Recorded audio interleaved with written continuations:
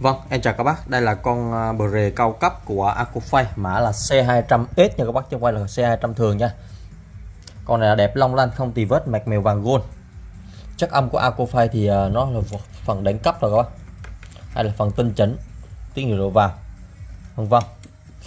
Acofay thì các bác sẽ có được chế độ lo nét hai cấp độ này, bát chép, phía chép để chúng ta có thể tinh chỉnh cho hai kênh riêng biệt nha. Đây là phần chép phía trên này, bát phía dưới nha các bác, bát phía dưới ba lăng volume mạch và tất cả đâm nút của nó là sẽ màu vàng gold một tí nha các bác đặc trưng dòng Aquafay dây nguồn điện là 100V điện 100V con này em à, đang giao các bác là 16 triệu bao gồm phí ship nha. Bác nào đang có những con bao đèn hoặc là những con bao có công suất tốt mà chưa có rề hay thì bê ngay con rề Aquafay nhắc tới dòng Aquafay thì nó quá đẳng cấp rồi.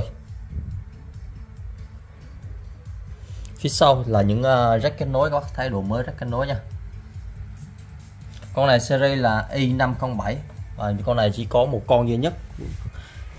Tại vì dòng RA của phay nó hiếm quá nó không có nhiều. À, nó chạy 4 cầu điện nha các bác. Hiện tại điện 100V các bác có thể chuyển qua được điện 220 nha. Đây 100 117 224 này. Đấy.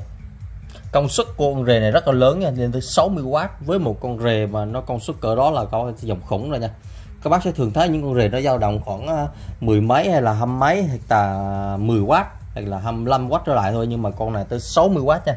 60W C200 rồi tới C200S nha các bác. Là phiên bản nâng cấp của con C200 con này đấu mạng về Nhật về điện là 100V giá nó có tốt, để phục vụ các bác là 16 triệu nha. Bác nào chốt con rề này thì alo cho em nha. Mé thì em bao riêng tuyệt đối nha. Long lanh, cành đào, em có hình trên Zalo. Các bác nào cần hình thì em gửi cho. Chứ còn mé thì tất cả bao riêng và mé mới. Mặt đẹp là vàng, không tì vết luôn nha. Mặt đẹp, không tì vết.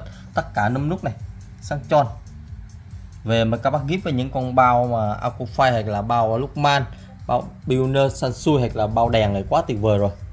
Con này thì nó có hai đường ra, hai đường ra cho hai chơi hai con đẩy này nha. Nếu các bác nhà một có một đẩy băng dẫn và một đẩy đèn thì mình có thể sử dụng hai AV cắm xuống hàng đẩy và sử dụng cho hai bao luôn nha. Rất là tiện, bởi vì công suất đẩy lên tới 60W rất là khủng. Và tiện nữa cái là em nó trang bị bốn cầu điện bán thật chốt con này thì alo em. Chiên không đủ thì em bớt 200 còn 15 8 còn cọc tiền thì các bác cọc khoảng à, uh, 10 phần trăm em trở lên thì em ship hàng và giao hàng tận nơi. Các bác cọc khoảng 2 triệu là các bác nhận hàng và thanh toán à, uh, 14 triệu nữa.